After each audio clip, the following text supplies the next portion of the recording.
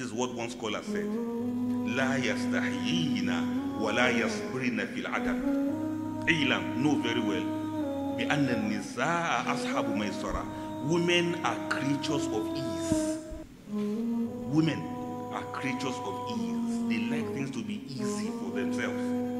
لا يستحيين. Some of them don't have any shame again if you make life difficult for them. ولا يصبرن. And they will never be patient again whenever there is problem in, in the family. But the like is, You know what?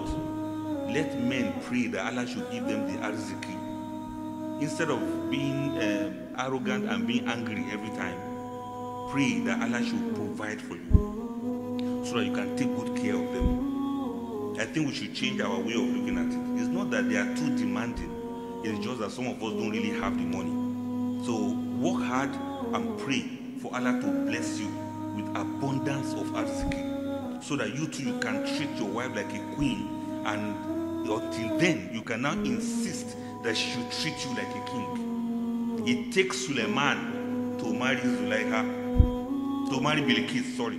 It takes suleiman to marry bilqis. Suleiman was a king and a prophet. Bilqis was a queen and a righteous woman. If you treat your wife like a queen she should be able to treat you like a king.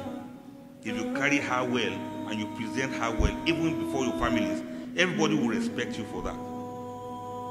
The society respect a man whose wife is respectable. Sometimes you may have to insist that she should respect herself. She should mind what she says. She should mind where she goes. She should mind what she does. And she should carry herself as if she's a queen that she is. While the man takes care of his kingdom, let the woman also take care of her kingdom. Because kulukum ra'in wa kulukum mas'ulun an ra'iyati. All of you are shepherds and you are all going to be questioned about your flocks by Almighty Allah.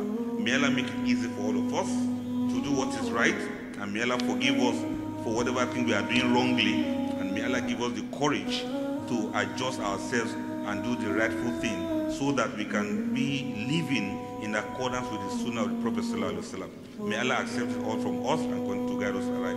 I'll stop here inshallah because of time. Inshallah next week we'll still have this leave again and we'll continue from where we leave it off. I'll stop here. Let's recite Surah Al-Fatiha for ourselves and for our families. That Allah should guide us and provide for us. Men, I really pray for you. May Allah provide for you so that you have much more than your wife can spend. MashaAllah. Yes, may Allah provide for you. So the only problem she has is how to help you spend your money. Is that a prayer? All right. Let's read the Fatiha. Bismillahir Rahmanir Rahim. Alhamdulillahi Rabbil Alameen. الرحمن الرحيم مالك يوم الدين إياك نعبد وإياك نستعين اهدنا الصراط المستقيم صراط الذين أنعمت عليهم غير المغضوب عليهم ولا الضالين. سبحانك اللهم بحمدك نشهد أن لا إله إلا أنت. نستغفرك ونتوب إليك. سبحان ربك رب العزة عما يصفون. والسلام على المرسلين. والحمد لله رب العالمين.